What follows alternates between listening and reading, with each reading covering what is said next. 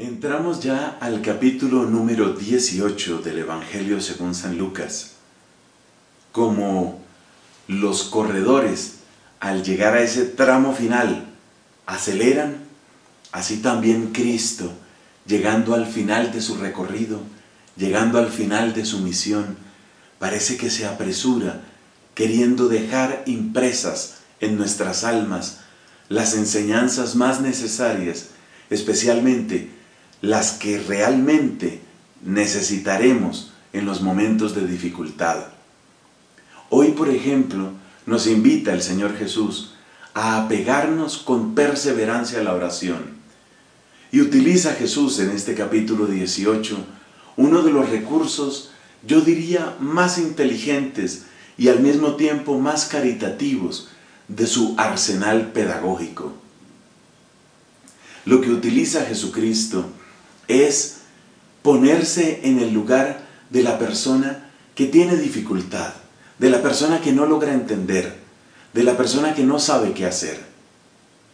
Y cuando alguien, por ejemplo, no se siente escuchado por Dios, ¿qué opinión se forma de Dios? Pues que Dios es un juez, pero un juez injusto. Que Dios tiene poder, pero que lo utiliza de un modo caprichoso.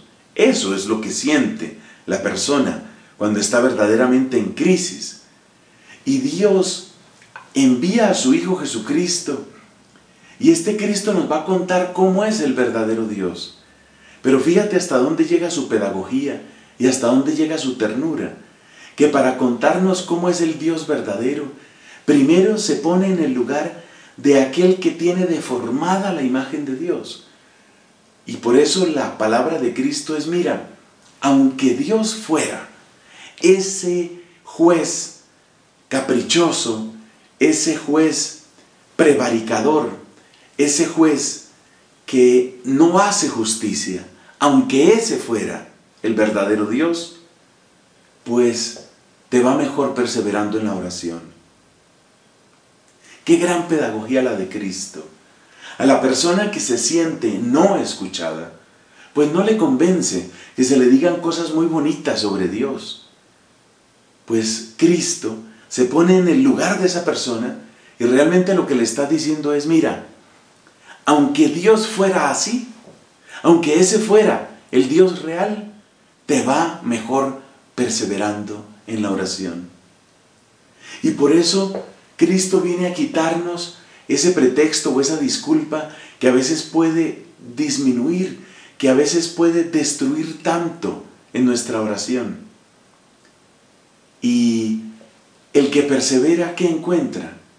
Encuentra que no solo hay una respuesta para él, sino encuentra que ese Dios en el que él estaba pensando, ese Dios que era juez injusto, pues así no es Dios pero lo, lo tendrá que descubrir Él a su momento. Qué gran pedagogo Cristo. No discutamos de ideas sobre Dios. Experimentemos su poder. No tratemos de defender a Dios o de maquillarlo. Experimentemos su presencia. No entremos en una gran discusión, en un gran argumento. Descubramos su acción, su poder, su obra. Y todo lo demás irá encontrando su sitio. Que esa sea entonces nuestra actitud. A través de la oración perseverante, a través de la experiencia viva y directa con Dios, podremos contar quién es Él realmente y admiraremos todavía más a este gran Maestro, Jesucristo.